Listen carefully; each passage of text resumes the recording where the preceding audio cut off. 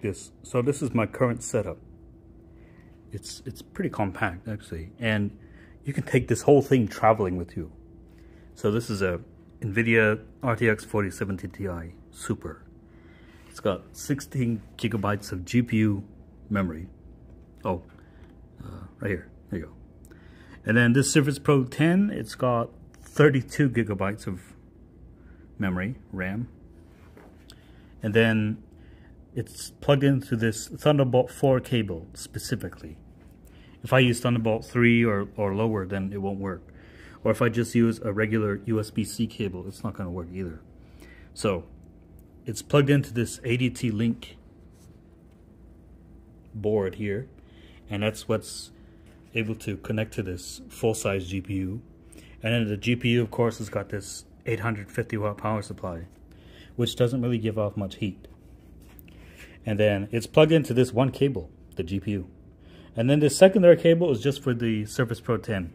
Of course, you could always unplug it if you don't need it, and it'll run just fine.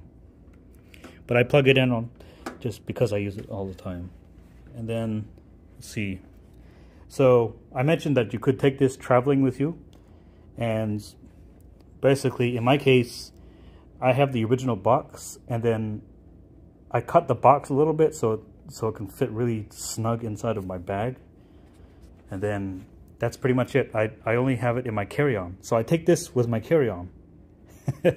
and from what I found online is that's the best way to do it because you, you never know they might damage your GPU if you if you don't take it on your carry-on. So I've taken it with me to New York on the, on the two main airports. It's like JFK and uh, LGA. Yeah.